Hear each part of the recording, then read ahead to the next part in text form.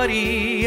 When your brother is a jerk, he's your pal. When your dad is off at work, he won't leave you. When you go get a bite, at least until the sixth night.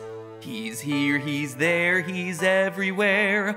Who you gonna call? Psychic friend Fredbear. He's a flower for reasons still unknown, and he stalks you.